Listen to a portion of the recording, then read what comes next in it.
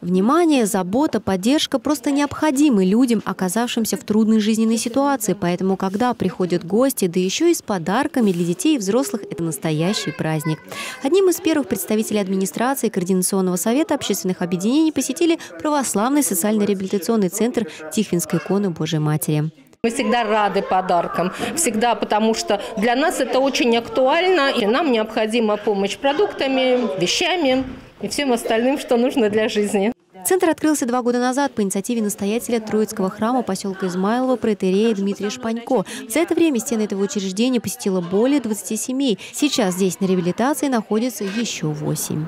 Самой главной нашей задачей является не материальное поможение, э, помощь, да, потому что храм не имеет таких средств, как государство, там оказывается какие-то материальные э, помощь, хотя мы это тоже делаем. Но самая главная наша задача – это духовное воспитание. Сегодня благотворительное попечение над учреждением осуществляет Троицкий храм, поэтому помощь в качестве продуктов питания для центра особо значима, и сами подопечные всегда рады такому вниманию. Праздником нас э, часто посещают э, различные благотворители.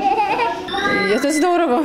Акция «Щедрый вторник» является международной. Несколько лет она проходит в разных странах мира. Ленинский район впервые принял в ней участие. На протяжении целой недели в четырех торговых центрах волонтеры рассказывали видновчанам про благотворительную инициативу и нашли отклик в сердцах жителей района, которые приносили игрушки, книги, вещи и покупали различные продукты питания мы собрали более 300 килограммов. И вот эти более 300 килограммов мы распределили тем, кто действительно остро нуждается. Это приют э, женщин, которые находятся в поселке Измайлово при Троицком храме. А также это наши три общества. Общество инвалидов, общество инвалидов-диабетиков и общество слепых и слабовидящих благотворительной акции было задействовано свыше 50 волонтеров, а также представители общественных организаций. Хотел бы поблагодарить все общественные объединения, кто принимал участие. И, конечно, хотел поблагодарить бы всех людей, кто принял непосредственное участие и вложил, некий вклад сделал в эту акцию. А пока организаторам акции предстоит еще несколько дней работы, чтобы развести все продукты питания и сладкие угощения